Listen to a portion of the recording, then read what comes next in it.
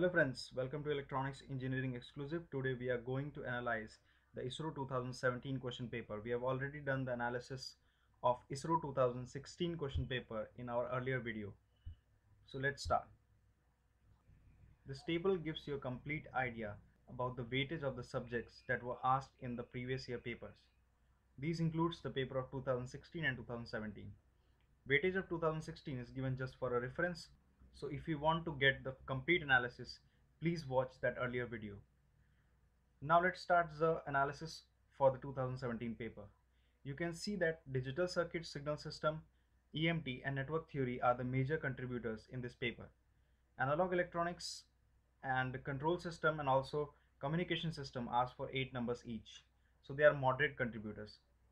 Other are very less important. So the moral of the story is this if you prepare major five subjects for this exam you're easily gonna crack this exam. Now here you can see the results of written test held on 7th May 2017 here you can see the top ranker scored 136 out of 231 and the least scorer which was qualified for the interview scored 98 marks. Here you can see that. So let's check out the main points from this analysis these are some main points. That is digital signals, EMT and networks theory include 47 questions. That is more than 55% of the questions. And if you calculate the marks, that includes 141 and more than enough to get rank 1. So you can see if you prepare these four subjects, you can easily get top rank.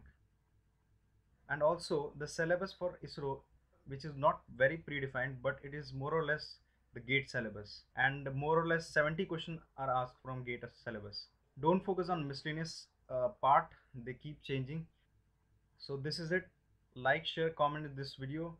And please subscribe to our channel if you want more videos like this. Thanks